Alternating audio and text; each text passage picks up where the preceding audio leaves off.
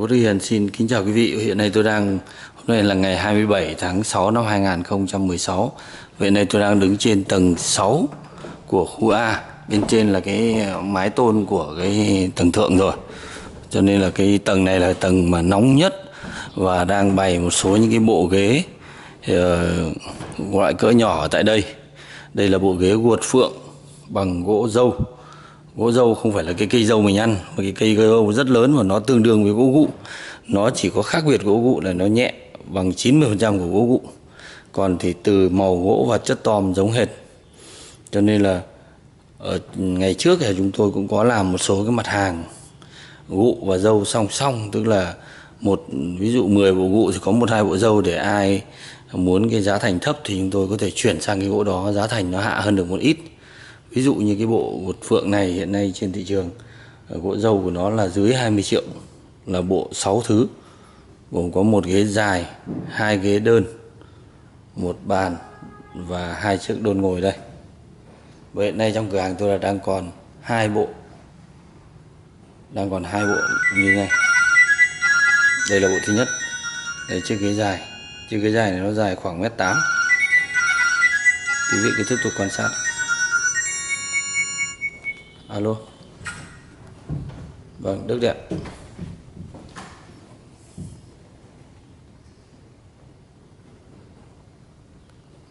vâng.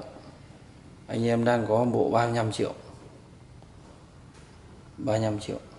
Cũng tương đối đó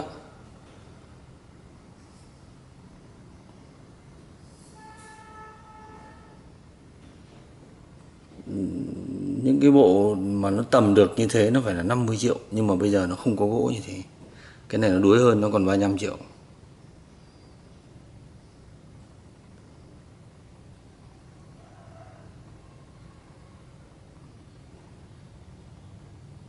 Nhưng mà em có cả hàng cột 12 rơi vào khoảng 50 cũng đẹp lắm. Vâng anh ơi nhưng em có cả cột 10 gỗ vụ chọn vân đặc sắc giá từ 30 từ 35 đến 40 dạ nó trần nguyên thế ạ. Nó cứ trần nó hơi nó như màu mật ong xong rồi còn các cái vân nó sọc sọc nó, nó xanh xanh đen đen ở dưới. Gỗ gụ à? Nó là gụ vâng gụ gia lai chọn vân. Không phải cây nào cũng được vân thế. Vâng như màu mật ong à khi anh, nếu anh muốn sậm thì dễ thôi. Anh muốn sậm, anh kê cho gần cho nhiều ánh sáng là nó sậm xuống. Nhưng mà nó vẫn giữ được vân. Đấy, còn chúng em không vâng.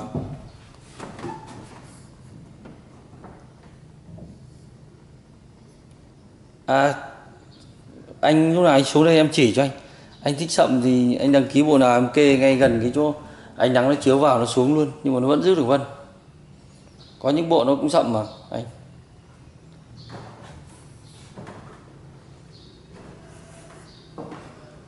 Dạ.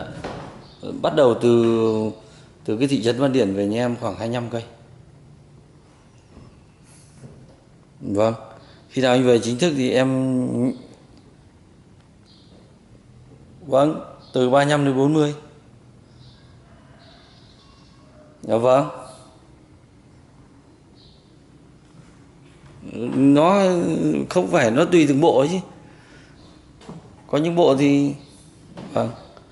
Bộ hương bộ hương cái bộ nào mà tuyển được, ngày trước có bộ nó lên đến 50 đấy. Nhưng mà những, không, bộ hương còn gụ tối đa là 40 42 thôi.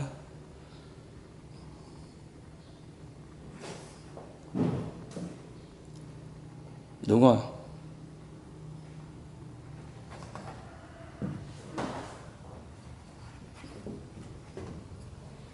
Vâng đúng rồi. Anh anh anh cứ về đi tóm lại có có có có mười mấy sự lựa chọn đợi anh. Tức là có ngay không phải đặt đông cả mình nhìn biết ngay là nó xứng đáng hay không. Anh ạ trong vắt veo luôn anh nhé lúc nào về điện cho em để em uh, nhắn cái đường đi. Tại vì em nhắn sớm sợ nó nó nó trôi tin nhắn đi mất anh nhé không nhưng mà em có cái đường tắt về gần nhất đến cầu rỗ xá. Vâng hay bây giờ ông cứ nhắn cho anh cái anh nhé vâng. Bây giờ khách hàng Hà Nội đang hỏi về các cái bộ ghế chọn vân và đường để về tôi lại trở lại tiếp tục cái bộ này thì là bộ này hiện nay đang bày đây là 6 thứ. Ờ, và đây có cái bộ phía trước đây giống hết. Vậy đây có một khách hàng anh đang muốn dùng bộ 8 thứ thì tức là đang từ bộ 6 này anh nhà chắc là đông khách cho nên anh muốn thêm hai cái chiếc ghế đơn này. Thì thôi, chúng tôi cũng kể ra phá xé lẻ ra thì nó hơi bất tiện, nhưng mà cũng là chiều khách, cho nên chúng tôi cũng sẽ đồng ý.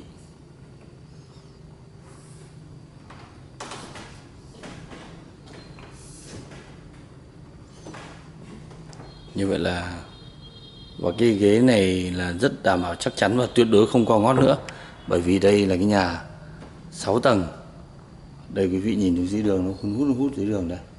Và trên nóc là mái tôn. Cho nên trải qua mấy năm rồi thì nó sẽ là khô kiệt.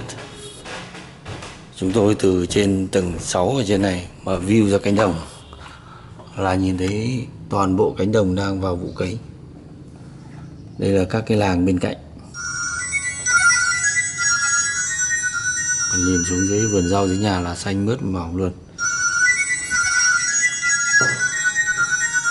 Alo. Dạ vâng.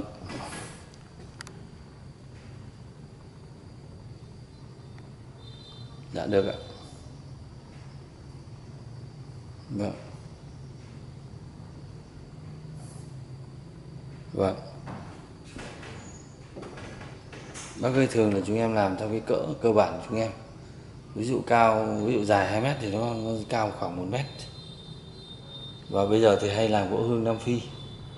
Đấy, giá nó cũng hợp lý thôi, một cái bức như thế nên thì rơi vào 18 triệu. Vâng.